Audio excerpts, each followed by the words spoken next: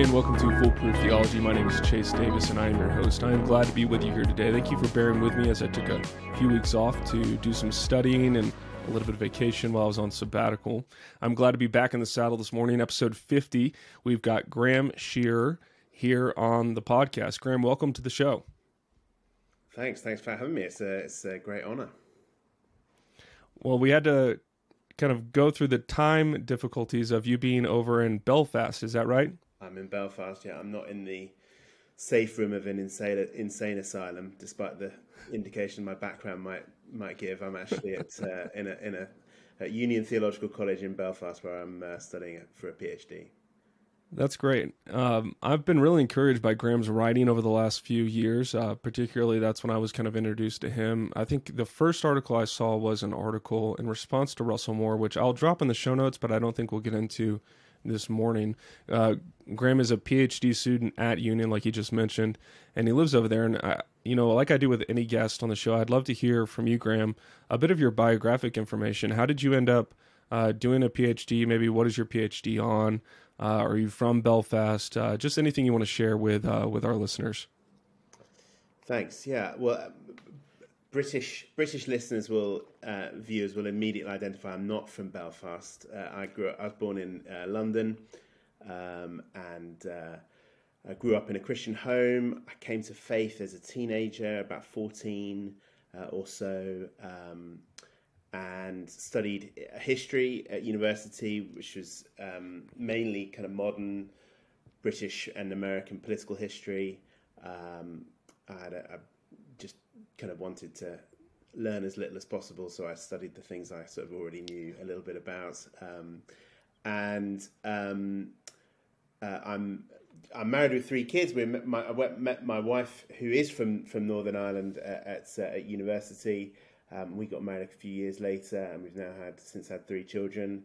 Um, and um, uh, I have uh, I was I worked in on in campus ministry for a while, um, doing um, work with with uh, kind of the UK equivalent of InterVarsity um, in the UK, and uh, that was quite kind of apologetics focused, so helping to to help to train people to, to speak on campus in, in apologetics contexts, um, and then moved from from that ministry to um, to seminary to train for the pastorate.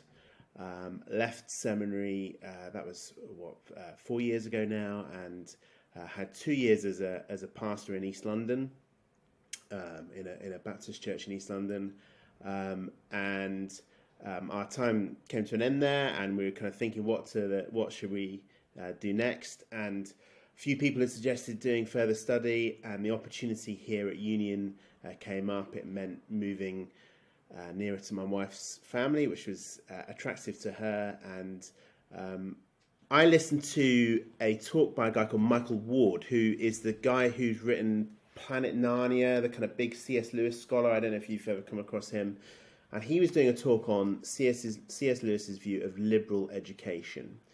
And okay. his definition of liberal education is a, is an education um, that is uh, pursued for the sake of it, for the sake of itself, for the sake of knowledge itself, rather than to kind of as an instrumental means to anything else. And um, I listened to that talk, and I was thinking about what to do, and it sort of inspired me that uh, whatever doing a PhD might lead to, and uh, it might lead to very little. Uh, many people have, have told me um, that there was something intrinsically valuable in in dedicating oneself if you have the opportunity to uh, to study. Um, uh, to study anything really, to, to just to, to know the truth, but particularly my area of study is on uh, the Trinity, on God Himself, on the uh, the highest end of, of man, and trying to understand what it means that that God is is triune and and uh, Father, Son, and Spirit. So. Um, so that's kind of what inspired me to take the plunge and uh, move over here to to commence my studies. That's great. And on that particular topic, uh, I mean that's a pretty weighty topic. Are you, you're still pursuing that as your uh, your dissertation, your research? That's great. Is I'm assuming that's going to delve into issues of classical theism, in in modern issues, or is it more of historical theology? What are you kind of looking at there? Um, yeah, I'm focused on the question of whether, when the Father generates the Son in eternity, um, he does so by uh, communicating the divine essence uh, to him. Um, and that had been a kind of uh, uh the understanding of, of, of, theologians throughout church history um, until really, I, I, think, until John Calvin came along. Um, and John Calvin had a, a slightly different view. Um, and uh, the, the, the, the Son receives his personhood rather than um, his essence from the Father. Uh, mm. And that's kind of trickled down into Reformed theology more widely. Um, and um, I there was a, there was a very very very good book, um, a PhD written under John Webster by a guy called Brannon Ellis about ten years ago, which made the argument that this is really Calvin was absolutely spot on on this. Um, and I had done a bit of study at, at college, which led me to believe that probably wasn't. I, I didn't think that was quite right, and that, that there were some issues with that. Um, it was all obviously we were all we were all thinking about the Trinity back in 2016 and the the EFS debate and, and so on. Um, and so that kind of led me to be interested in that area. Um, and so I've spent um, so I've been trying to kind of understand well what you know what, what do we mean by essence? What do we mean by person when we're talking about these things?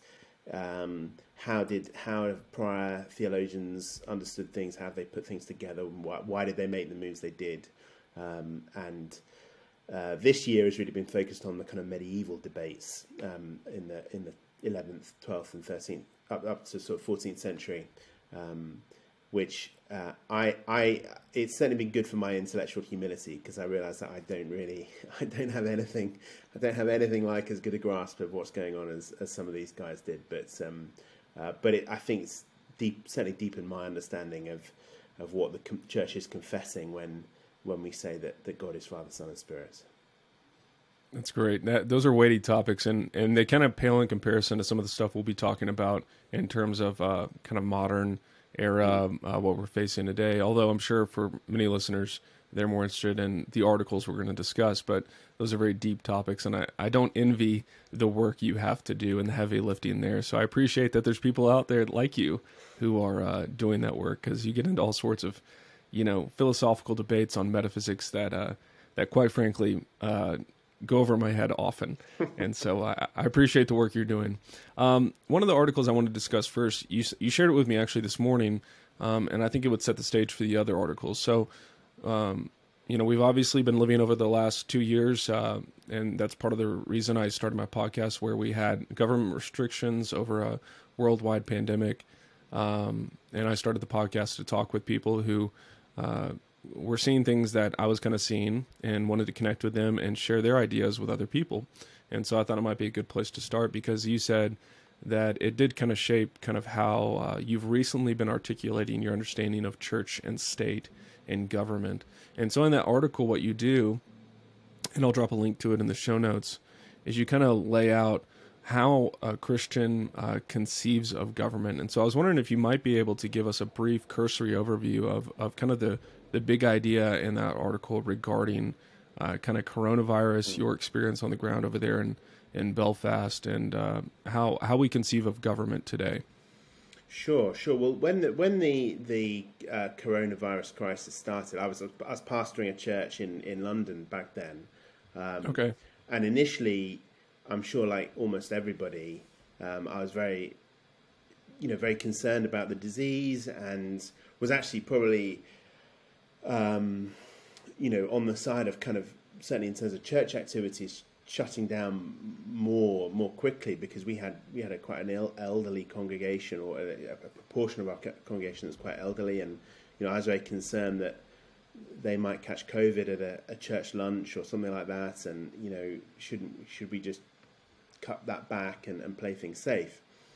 Um, and I remember sitting our kids down when you know to explain that their school was going to be shut and they were going to be staying at home, and that was to slow the spread and make sure the hospitals weren't overwhelmed and so on. Um, but a number, but uh, uh, you know, after three, the, the, first three weeks, you know, three weeks to flatten the curve and so on. As time went on, I became, I, I became aware that, that there was something um, sort of there was there was a deeper malaise being being uh, kind of revealed that the the kind of initially you thought oh yeah you know this is quite good because the culture seems to be concerned about human life the preservation of life. It's it's seems to be turning away from um, kind of economic priorities. You know we talk about how you know economics has become kind of dominant in our culture but here's something where where businesses were, were closing and so on. But as I went on, I began to feel that that, that, that the the kind of extinguishing of um, human societal, human society, social links, the digitization of so much of, of life, um, just wasn't wasn't um, uh, sustainable or, or, or or justified by the by the threat that the virus posed, um, mm. and I began to kind of reflect on what um, you know what was behind this, and it struck, struck me this was a very kind of modern approach to dealing with these things. So fundamentally, we viewed it as a problem to be solved rather than a trial uh, to be uh, endured. There was a, there was a mm. sense that um, if we could just get the right government policies, you know, the death rate would be would be changed and, and fundamentally altered. Um, and obviously, there was a, there's a there's a case for doing things to stop to stop death you know a death sure. and so on. But it, it, seemed to me reasonably quickly as you saw the different kind of the you know the different dots on the graphs and so on in terms of you know viral spread and so on that that this just wasn't something that was within the grasp of human ingenuity to to control in the way that we were being told oh well you know if you stand this far apart if you have a screen in front of the cashier in the restaurant or you have you know, the, this will all save lives and so on. And it just struck me right. that that was that was highly unlikely. Um, right. And then the whole way in which statistical modelling uh, was used to um, to kind of micromanage um, uh, the, the, the the decisions that should be made, and the way that that was appealed to as a kind of oh well, we're just doing what the science tells us. Mm. I, I knew enough about history to know that that those kind of claims to to, to totalizing uh, knowledge of a situation were almost always bogus, uh, made by by anybody, um, and and also fundamentally that um, the the appeal to the state, which I think was fundamental, the appeal to the state and the way in which there was no consideration um, uh, that that uh, there was no there was no area of life that the state could could um, was prevented from from interfering with. There was nothing. There was no. There was no place where the state's writ did not run.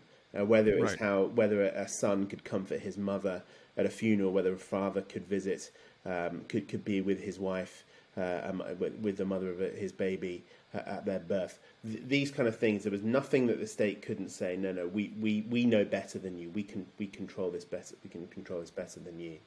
Um, and you know, I had always, I remember I did a bit of study on on on the thought of um, of Hegel, uh, the German mm. the German idealist philosopher back in the in the early nineteenth century, and I my my knowledge of Hegel is is very secondhand and very very sketchy, but I I remember when I read um, kind of accounts of his thought, feeling that he was very influential on the way that the modern world has been shaped. Um, and one of the things that Hegel Hegel basically had this philosophy of progress that um, human society gets uh, gets better, uh, stronger over time in, in all areas as we we come to kind of absolute self consciousness.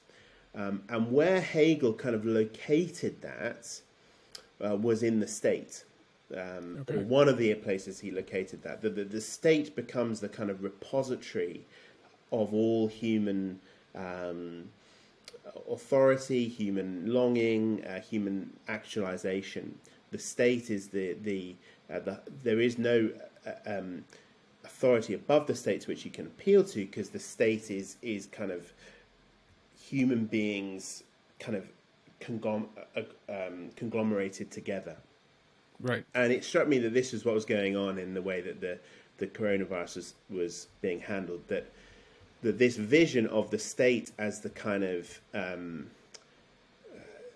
the the the kind of focus of all our identity, all our hope. You know, they the state was the one who was going to rescue us from from a virus, was going to tell us when we could see our families, was going to manage how we conducted our weddings, how, how we how many people we could have in a, in a in, around for a meal. All of these things depended on that kind of conception of of, mm. of the government, and that this was a, a, shift, a fundamental shift from from the way things had been understood uh, before.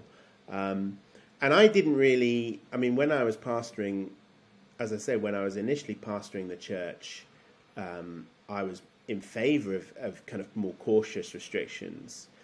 Um, and it, and by the time I wrote the articles you mentioned, I was um, had, had left was was on my way to, to transitioning to full time study. So I felt I had a bit more freedom to speak about these things because sure. there was a kind of um, I don't know what it was like for for you guys in in in Boulder, but you know there was a huge social pressure to you know stick with the narrative, encourage people to abide by the restrictions because to do anything else was was socially irresponsible. Um, right. And so it was only when I got to the kind of the autumn of 2020 that I felt, well, actually, I think I should, I should just on my small, you know, my small little way, um, just kind of try and try and offer a, counter voice uh, along with with many others as well. Yeah, that's great, and that's that's about the same time I started writing uh, a couple of articles through Mere Orthodoxy, and some of my elders were questioning, you know, is this the the wise thing to do? And and uh, and so we prayed about that and considered that. And and ultimately you know the pros outweighed the cons in terms of the reputation of the ministry or or or things like that. Um, but one thing that you said in the article that really struck me that I've I've weighed as well and I've talked with my wife and my friends about is uh, is how you know, in pagan cultures where they made sacrifices when either disease, famine, plague, or whatever it was, things that were outside of their control would happen, we typically look down on them like, oh, those brutes, they're so unenlightened, they don't know what they're doing. And yet, in some ways, there's a bit of wisdom in their humility, right? And their deference to realize that there are things outside of human and state control that we cannot, uh, you know, we cannot regulate into. Uh, uh, oblivion we cannot control so that it, it extinguishes and we have to rely on something out outside of ourselves and so as societies become more secular and by that i mean more atheistic mm. um, it, it, has resulted in a more totalitarian kind of uh, focus where the government becomes this what you called a uh, kind of a pure distillation of the essence of the ideals of a society mm. where the state embodies that kind of essence and uh, how unwise that is. You know, compared to uh, the way I think about it is this way: in some ways, it's easier to reach somebody with the gospel who uh, who believes in kind of a pagan uh, ideology, or even somebody I could argue that is a very big Marvel fan. You know, who believes in superheroes. There's uh, there's gospel opportunities there to talk about aspirations, values, desires. It's harder to reach a people who are almost nihilistic right? That when there's nothing outside of ourselves, the, we have an immanent framework where the only uh, form of engagement and hope is in the material world. A very materialistic mm. society can be hard to reach with the gospel because you have to lift their eyes up. You have to uh, eh, confront that society in both gentle and hard ways with the reality of God's existence. And that can be a bit more challenging than almost reaching a pagan people who believe in kind of this pantheon of gods. Um, but I found that a really interesting insight in that article. Yeah, I mean, it's interesting. Acts, is Acts 14, I think, isn't it, when Paul comes to. Um, oh, it's not Derbe. What's the, the other the other one of the other those other cities, and um, you know they, they want to sacrifice to him as a as him and uh, um, who's he with by that point? Is it Barnabas um, as as gods? You know, and he's able to say no. You know, look, but Right. God has God has not left himself without a witness. You know, he's he, he's not. I'm I'm just a fellow man. I'm I'm a man of like passions as you are, um, and and yes, there is that uh, um, that yearning for transcendence. That um, that that that acknowledgement of the, the, the transcendent that, that comes in those kind of pagan religions. Um, you know, someone like C.S. Lewis is always kind of trying to draw the connections, you know, and say paganism is in, in some ways a kind of a, a preparation for the gospel, even. Um, but I, I, think what, what's happened in our society is that the the trick that as a, and a, I know I'm, I'm talk about him a lot, but you know what what Hegel does is locate transcendence um, within human consciousness. So he isn't a nihilist in this. He believes in an absolute. He believes in a in a in a in a, in a reality that is um, that brings adds value to society to, to to nature. He doesn't. He's not a kind of um, a nihilist in the sense of of saying all of these things are just illusions. Sure. Where he locates it is in the the kind of the actualization, the the the um, the, the coming to self consciousness of the human of the human of the human consciousness of the human mind. Um, that there is no there is so there is a mind there is it there is sort of value and immaterial uh, consciousness um, but it is it's located nowhere else other than in humanity and and there's debates there's scholarly debates about what exactly Hegel believed about God but I think in our sure. society you have huge appeals to to tra- kind of transcendent values, you know, to to to, to right and wrong. Can, you know, cancel right. culture, cancel culture does not work in a morally vacuous universe. It, you know, you, you're saying these things these things are wrong. You know, they they they make me unsafe or, or whatever. Um, but they they flow from um, but they they are not appeals to to a higher lawgiver. They're appeals to uh, the authority of the human will, the authority of the human will kind of somehow conglomerated in a in a particular identity or, or understanding. And I think um, that does mean that, that the state uh, becomes the kind of is is the best candidate for the repository of that. You know, it's the best candidate to say who is it that's going to represent this, you know, this human consciousness, this Geist, it's going to be it's going to be the state. It's going to be right. the the one who claims governance over over us all. Um, and I think you're right that that we haven't quite. I think um, we we we need to we need to do some. I mean, I'm sure someone like James Wood, you know, who's who's doing all this kind of French 20th century Catholic theology that that's grappling with these things. But I think for someone like me and, and the kind of wider evangelical world, we haven't really formulated res- good responses to this kind of this new world that we live in. Absolutely, and that's part of the reason I'm interested in history personally. Is I feel like surely we can't be the only people that have ever had these ideas, you know. And so one of the articles you wrote on Calvin and liberty, um, you kind of uh, highlighted several different uh, ideas, um, and you talked about the uh, and you talked about Kuyper in there and kind of his reaction to populism, but also um, another framework. But right off the top, I really appreciate in the article is something I've wrestled with as well. Is sometimes in church history, like for Calvin, he uh, he really didn't have a theology of resisting the state. Um, maybe that came later. I think I've seen some of it developed over his time, but in general, the the kind of resounding point is like you shouldn't resist. Uh, whereas obviously, uh, different reformers had a different perspective, like Zwingli uh, and and other people, and so um, walk me through kind of like okay, so we get we go from Calvin in the in the 16th century um, to then Kuyper in the the 19th century, uh, giving his lectures on Calvinism, and then all of a sudden he he kind of posits that Calvinism, properly understood, uh, should have some sort of resistance or counter or uh, conception of the state. Can you kind of walk me through the logic with Kuyper and uh, and his response? Yeah, I mean, this is an area I'm still still studying and still grappling to understand. But you're right. I think that Calvin is very cautious about resistance. I think it's there's there's one moment at the end of the institutes where he talks about the the magistrates of the people who you know, he locates any any resistance has to come from another magistrate. This is Luther's um, this was Luther's view as well, and it was why Luther was eventually persuaded to, to back the, the Lutheran resistance to the, the Holy Roman Emperor. Um, but he he talks about you know maybe there are these magistrates of the people who might who might have a role or who should who do have a role in in resisting uh, tyranny, Uh, but his his general demeanor is, you know, pray, uh, endure, you know, and, and just hope the Lord will bring deliverance.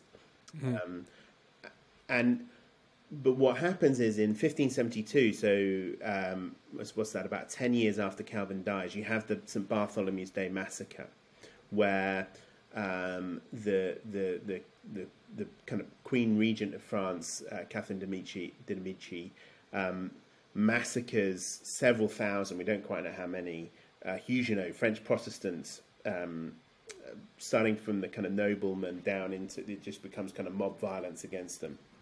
Wow. And this um, catalyzes kind of resistance, as you would imagine. But the the the Huguenot need to have an account theologically of why they are able to resist uh, the right. French king, and um, you get a book. Um, this book, uh, Vindiciae contra Tyrannos, which is um, anonymously. People think probably Philip, de, a guy called Philip de Mornay wrote it. Um, this is a, this is late uh, 16th century, and what they start appealing to is the idea of the covenant, um, and they say, look, uh, political authority is not given um, purely to the king. The king is not a um, is, is not a kind of absolute ruler who alone has a relationship to God. Uh, but instead, the whole people, the whole nation, have a, a, relationship to God. They appeal to a moment in, in 2 Kings 11 where um, there's a king uh, crowned, and he's crowned um, with a, there's a covenant between uh, the king and the people, and between the king, the people, and God. And so they're all they're all in covenant together. Um, and what the Vindiciae uh, says is that when the king breaks that covenant with God and with the people, uh, the mm. people are the kind of executors. They're the, the they're the um, the stewards of that covenant. Um, and in fact, um, the king, uh, the, the, the people appoint the king uh, rather than um, the, the the king having having kind of priority over the people. So that is, you know, that he the, the writer asks you, are there kings going around? Looking for peoples?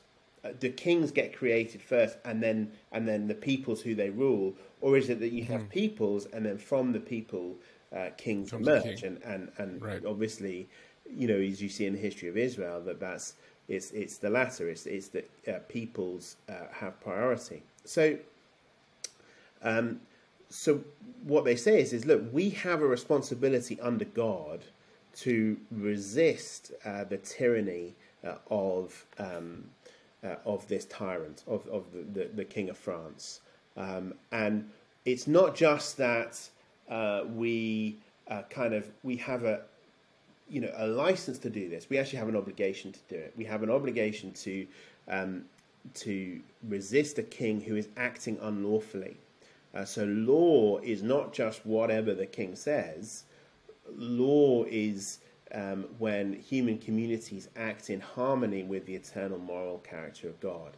And when a hmm. king mm. starts, when a king starts making laws that uh, prevent right worship of God and, and so on, uh, there's a duty to resist. There's a duty initially on the uh, on the, the, the, the, kind of the lesser magistrates, that you know the people who are who have political authority within the system, but but fundamentally uh, the people have a the people as a whole have a responsibility in in maintaining um, that covenant, um, and that kind of gets that becomes a kind of stream within Protestant political uh, theology.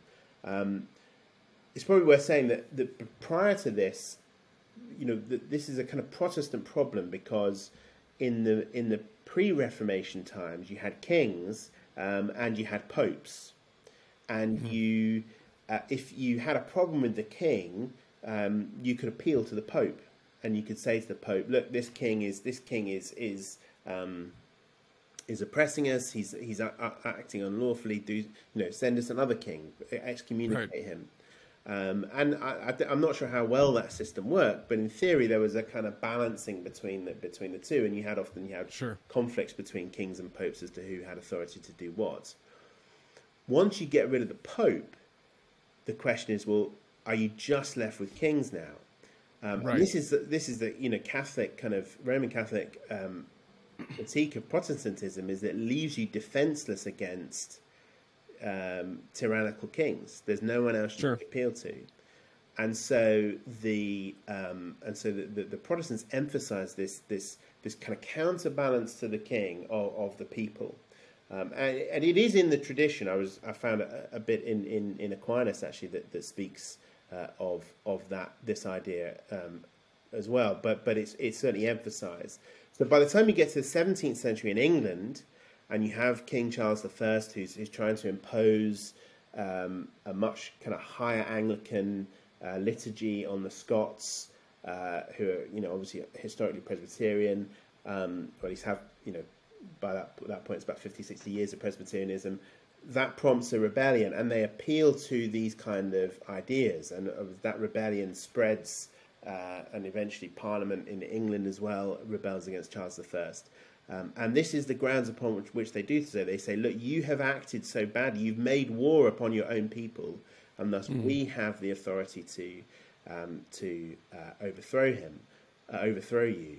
Um, and when you get to, I mean, I'm not an expert on, on this by any stretch of the imagination, but when you read the Declaration of Independence, you have a very similar kind of idea that the, that the people uh, under this under this tyrant, as they want to characterize George III, uh, appeal to providence. They appeal to a higher authority to say, we are, uh, you know, we are, um, we're we're appealing to you because this this figure has broken the covenant that that he uh, made with us, and it's not saying there's a kind of explicit stated covenant, but it's saying all the kind of the human, the existence of the state as a, a of the kind of political community relies upon these kind of of, of arrangements. Um, Right. and and so when when Kuyper is looking back at this history, um, obviously with a, with a Dutch perspective as well, and the Dutch see themselves very much in this in this tradition as well. Um, he he wants to show as he speaks in at Princeton in, in the late nineteenth century um, that it's Calvinism that has generated political liberty, uh, because it's Calvinism that has said to the states, "You are under the authority of one who is higher than you," and the people have the authority to, um, uh, as it were, draw you back under that authority when you seek Okay. to, to transcend it, when you seek to escape uh, from under it. Um, whereas other theories of, of kind of state power, whether that's being a state power deriving from the kind of um, the, the, the, the liberty of the individual, um, or whether it's kind of this sort of Hegelian kind of you know you're the you're the pure distillation of of, of kind of human consciousness. Um, there's no principle by which the state's power can be restricted. Uh, there's no Right. no there's no there's no standard to which anyone can appeal, uh, but there's also no um, no alternative body that can be appealed to because the state and the people are just kind of fused uh, fused together um, Right. and, um, and and so whereas whereas in the Calvinist conception um, the state the people have a responsibility to obey the state and honor honor the, their rulers and, and so on but but that responsibility operates within a framework of of of a, of a, of a, of a covenant that is is under God Yes, and I think that there's a motto for the state of Vermont, I believe it is, and uh, or at least there's a flag I think that's associated with Vermont. Uh, I think New Hampshire's is "Live Free or Die," which is very American, uh, but somewhat consistent with the tradition. And then Vermont's, uh, they have ones that says "An Appeal to Heaven," and that's what's coming to mind when I'm Yeah. hearing you talk about this. Is that we make an appeal to heaven. We're not just making an appeal that's a populist appeal to what's popular or, or what the, the common will of the people is currently, but we're making an appeal to the to, to the God of the universe. And so um, that's a very curious kind of overlap, and I, I'm starting to kind of put some pieces together in my own thinking yeah on those topics. Um, the it kind of ties into the last topic, and and this kind of gets to uh, to why I was very excited to have you on the podcast because it's it's rare to find a Baptist who is uh, who's thinking on these matters with such a good historical perspective. Often we get Baptists who are, well, I don't know what they are, but they're they're very uh, captured, it seems, by the ideas of the age currently. Um, I I sometimes refer to myself as a magisterial Baptist. I don't know if you've employed that terminology before. Um, not not not in company, but I, I you know I like to I like to, to repeat the phrase over over in, in private private meditation. I think it's Joe. I heard it from Joe Rigney, who's uh, who's yes. uh, I, I, whose thought I enjoy on this these topics. Yes. Yeah, and so there's uh, I think there's dozens of us out there that are magisterial Baptist, uh, but there's only a few. there's only a few that are willing to kind of share their ideas publicly on the matter, but uh, you're one of those few, and so you've written a response to Russell Moore. I'll put that in the show notes. But really, the uh, the second part of that um, was really curious to me because I had, I'd been listening to a lot of Presbyterians, um, and even in my own research, I'm reading on uh, Thomas Hooker and his interaction with Samuel Rutherford. So Hooker's a Congregationalist and Rutherford's a Presbyterian, and they're going back and forth. Um, on these matters. And so Presbyterians will make the argument that Baptists don't really have a place uh, to speak of kind of state involvement or kind of a magisterial kind of reformer attitude because Baptists uh, kind of reduce the relationship with God to the individual choice. And um, and so there's some stuff Stephen Wolfe and, and others have said on this matter. It, it's not just him. There's a lot of people that have said this. But you make the case, and I'd love for you to share that case with my listeners. You make the case that Baptists are in line with the Reformation, and that uh, not they have a they had a place, they still have a place, and it's it's uh, it's natural and good for Baptists to kind of advocate for. Um, I think in the article you go so far as to say to advocate for a Christian state. Is that correct? Well, uh, yeah. I mean, I, I I think correctly understood that that is yes, that is what we should we should advocate for because you know we're Christians and we think that Jesus is, is Lord of all and and that and not only is he Lord of all, he's also also best of all, and so a government, a state that's informed by his wisdom, by his love, his grace, um, by his uh, by his righteousness is is likely to be- benefit everyone. Um, uh, yeah, I mean, I I've been helped by on on this kind of stuff by the the work of uh, Matthew Bingham. Okay, who is a, is actually an American guy, American uh, scholar who uh, did his PhD here in Belfast at, at, Queen's Queen's University, just over the road. Um, um, and he's now at the college that I, the, the, seminary that I that I attended, though he arrived after uh, after I did. But he he wrote his PhD on the, and it's now um, uh, an Oxford University Press uh, book um, on the origins of the Baptist movement.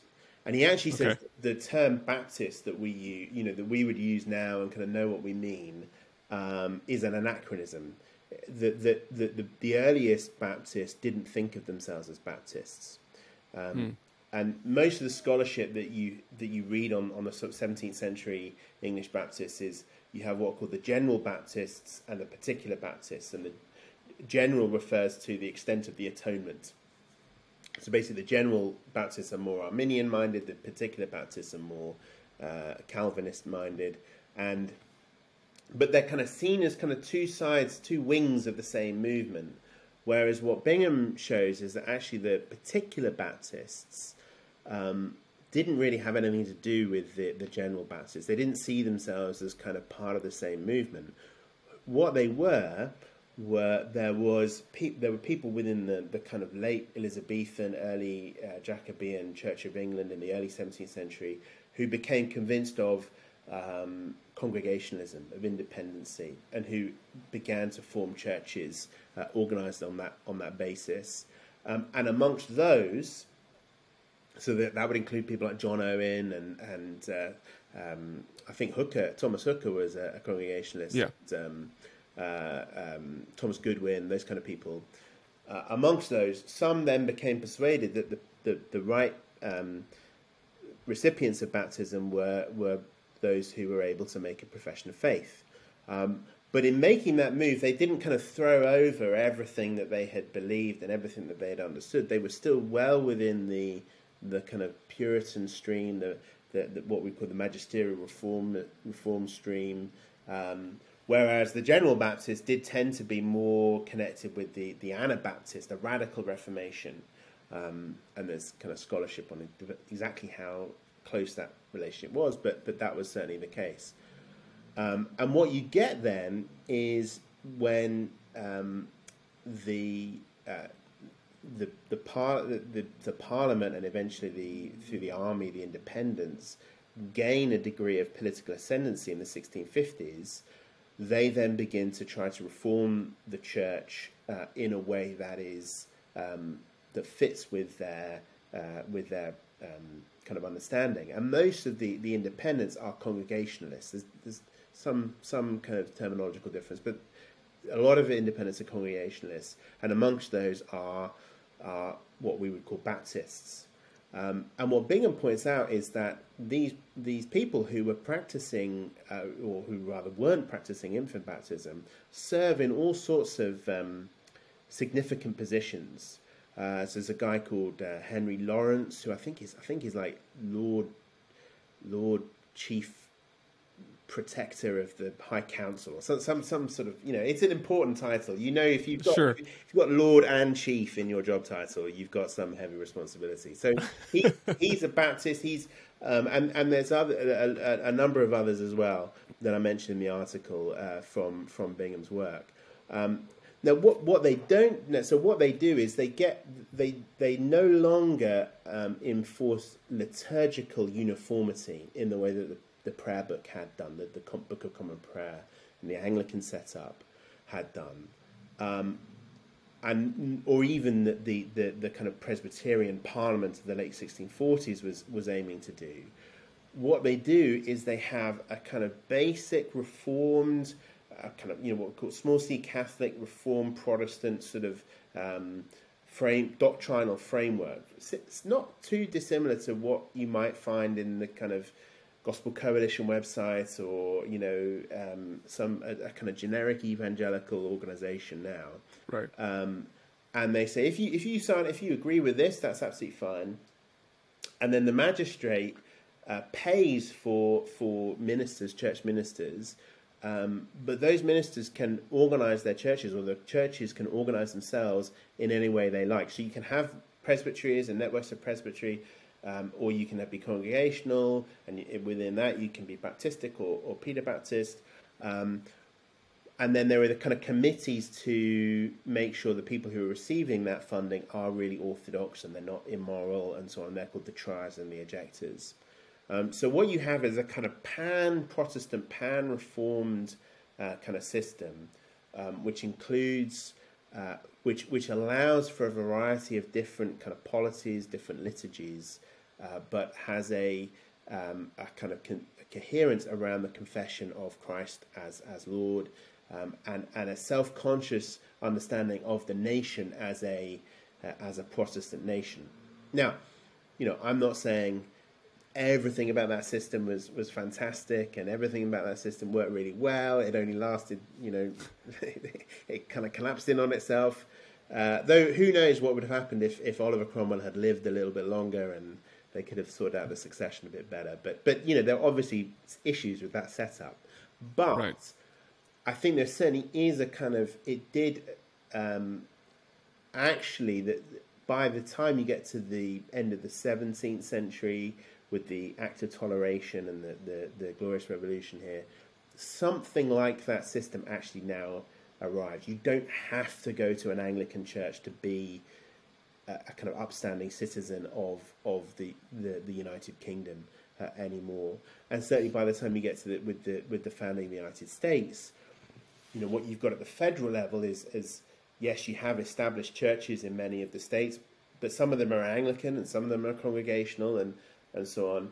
And at the federal level, there's a there's a kind of understanding of the nation as um, under God and and being um, you know I would I, I, I think that, that the US was a, a kind of self-consciously Christian nation. I, you know, I know there's right. some debate about that, but uh, a self-consciously Christian nation, but that does not demand liturgical or, or uh, liturgical conformity or, or poli- conform- conformity in policy.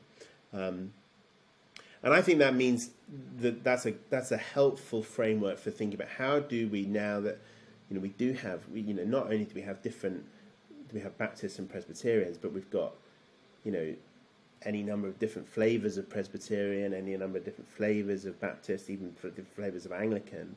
How how do we how could we advocate for um, what would it mean to advocate for a Christian nation? Does it mean that we all have to say these bishops or this presbytery is the church and anyone that, that operates outside of their remit is, is not a Christian? That, that right. seems unlikely to me. Um, but I think we must say, on the basis of the whole Christian political tradition, that when the state no longer acknowledges uh, a divine lawgiver, it becomes a law unto itself and it actually therefore becomes lawless. That if we're going to have laws which we can obey, um, which we, we, we obey in good conscience, that we say that resonate with the way things are, then we need the state to um, to to um, to acknowledge something above itself, acknowledge a, rea- a reality, a creator above itself. And I think sometimes we we get confused between the difference between a limited state and a neutral state. Mm. Um, and I would say, in order for, you know, I think a lot of the kind of Baptist concern, contemporary Baptist concern, is to say we don't want a state that tells us we have to say these particular words every Sunday uh, in sure. this particular way. Because we want, instead, we want a limited state. We want a state that doesn't, that, that abides by its bounds. But I would say that in order to get a limited state, you actually can't have a neutral state because hmm. unless mm. the state recognizes uh, the, the, the, the, existence of a lawgiver, the existence of a higher of a higher order above itself, um, it won't. There's nothing to limit it. There's nothing to keep it within the bounds of its own um, of its own um, desires. And I think what we're seeing in modern society is the state, um, out of a desire to solve problems, to put it in its in its best construction, sure, operating in in every corner of human life, um, right, and actually in a way that is that is um, often destructive of, of human of human flourishing, of human patterns of the, the, the, kind of right patterns of human um, existence. Um, and and the only way we're going to, to, to get the state to abide by limitations uh, is by that state acknowledging that, that it that it receives its remit from someone who is who is above itself, uh, who is, uh, you know, the, the, the God of the, the God and Father of our Lord Jesus Christ. Absolutely, I think that's that's an interesting way to to kind of conceive of it, where the state's kind of invasive and looking into every corner, because ultimately that's the way we should want the gospel and God to uh, we should submit to him in such a way that that he is uh, not pushed into the corner like relegated into a corner like a child in timeout, but pushed into the corner where there's not a there's not a square inch, so to speak, with Kuyper, where he's not uh, championed and worshipped. And so, for many of my kind of gospel centered brethren, so to speak, they're very content to have Christ in kind of a neutral place where he's not kind of expanded into the corners and and I think that what that gives room for is the state to take over those places where they're micromanaging every detail and they become almost godlike in their self-perception where there's I was just in the UK and there's cameras everywhere, you know, and they're they're watching everything. And so they, they think they can control things as as a godlike entity. And so when the state does not acknowledge that their self-limitation based on the creator, it becomes very problematic to say the least. And for some people, they, you know, they they still have kind of this libertarian ethic because they're American, and they, you know, it's uh, the flag. There's this flag called the Gadsden flag, uh, where it's, you know, don't step on me. Yes. Uh, and and they still want that kind of re- that neutral uh, American government where people are free to self-express and that kind of thing and and I resonate with that in some ways because it's that's that's an interesting ideal to aspire to but I also see it as a dead project kind of dead on arrival because it doesn't acknowledge the creator and it doesn't have any kind of ideal outside of the self where it's almost necessarily a populist attitude. Actually Aaron Renn is I think he mentioned that I was very he that was an episode that really challenged me because I kind of was like, uh, you know, don't step on me. That was kind of like an attitude I had as a as an American, and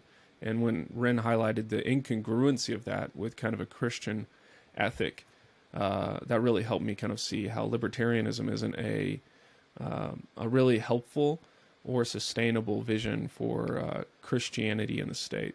Yeah, I, I mean, I, th- I think the um, what what you know, I think it was Edmund Burke who said that if men will not be constrained from within, they will have to be constrained from without. Mm. So if you don't have the, the the problem is an incorrect understanding of liberty. So we, we read in the scriptures, you know, Jesus says, you know, you will know the truth, and the truth will set you free. Uh, Paul says, for freedom's sake, that you've been you've uh, been set free. You know, freedom is is a is a very high value in Christianity, but it's freedom defined in a certain way. It's free. It's a positive freedom to a certain end. We're made for a certain for a certain end, um, and the freedom and and the the ability just to to to to do whatever we want when what we want is destructive and dehumanizing is actually slavery. Um, mm.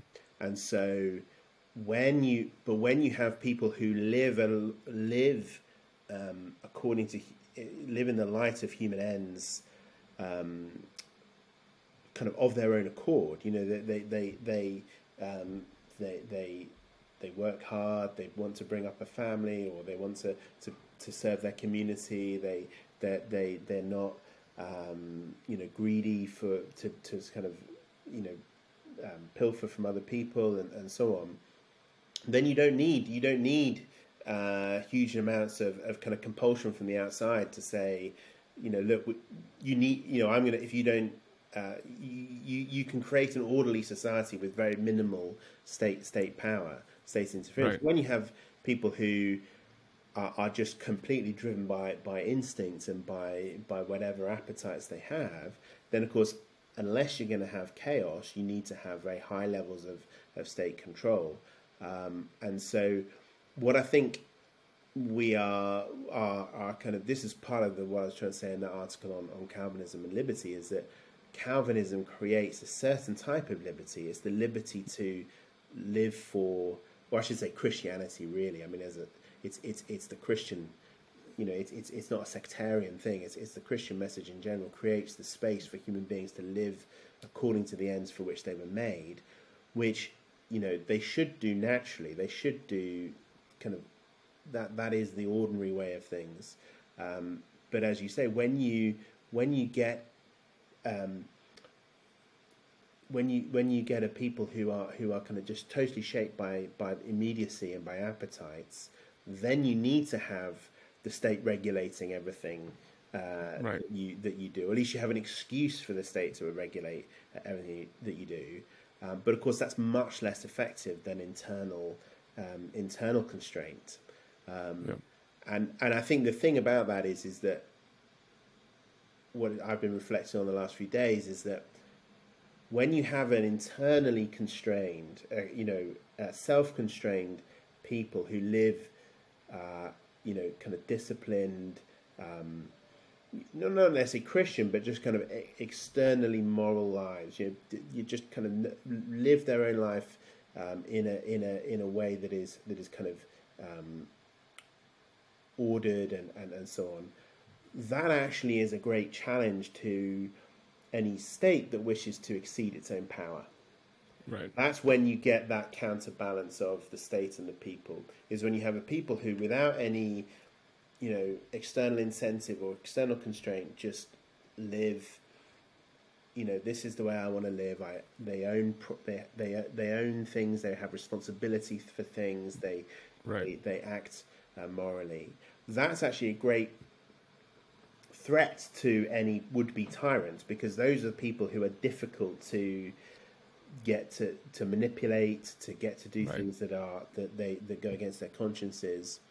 Um, and it struck me that many of the things we've been offered in the last 50, 40 years as rebellion, whether it be drugs, whether it be kind of the sexual revolution, or or you know even even kind of um, you know the internet and some of the dynamics that have gone with that they have actually acted to um, dissolve and um, kind of lessen the power of, of people.